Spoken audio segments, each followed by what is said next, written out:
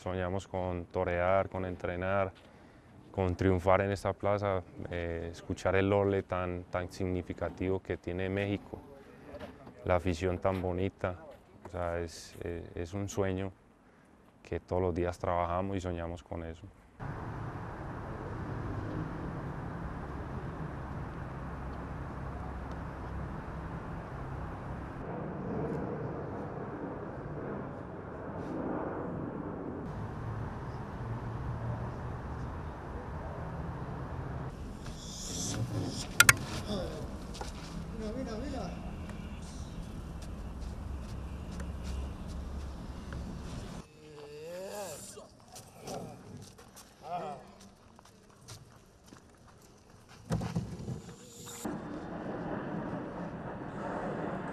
Eh, no pensábamos que la Corte se fuera a pronunciar de esa manera. Sin embargo, pues estamos nosotros eh, en pie de lucha y vamos a seguir eh, intentando que la corrida de toros, cuando menos en la Ciudad de México, debe de estar, debe de, deje de ser legal. Después tenemos la calle de Alberto.